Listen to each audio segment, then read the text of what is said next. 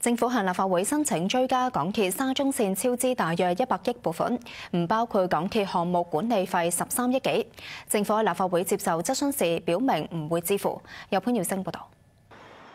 沙中線超支，港鐵估算近一百二十二億，當中十三億幾係港鐵管理費，但係政府反對比，認為項目冇重大修改，所以追加大約一百億撥款，唔包管理費。喺立法會鐵路事宜小組委員會，議員多次追問管理費係咪一定唔使俾？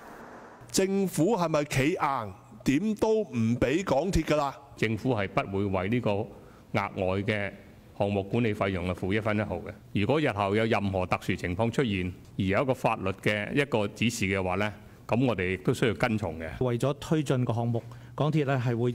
誒繼續出呢一筆數嘅。你呢度話本着誠意進行磋商嘛？個初初唔掂嘅話，你咪翻嚟又揾我哋攞錢啊？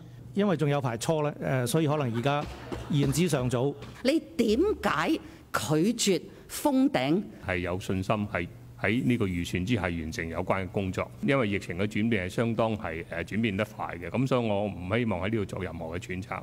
講緊嘅疫情影響，港鐵話包括內地工廠延長年假。內地返香港嘅工人要檢疫，海外工程人員唔想嚟香港都影響人手，不利沙中線工程。但係港鐵仍然維持過海段二零二二年首季通車目標不變。有線電視記者潘耀星報道。